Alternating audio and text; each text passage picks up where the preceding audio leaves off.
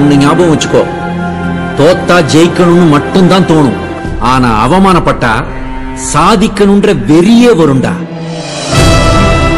வாழ்க்கையில சாதிக்கணும்னு நினைச்ச பல பேர் சின்ன வயசுல அவமானப்பட்டிருக்காங்க தெரிஞ்சுக்கோ. நான் வந்துட்டேன்னு சொல்லு.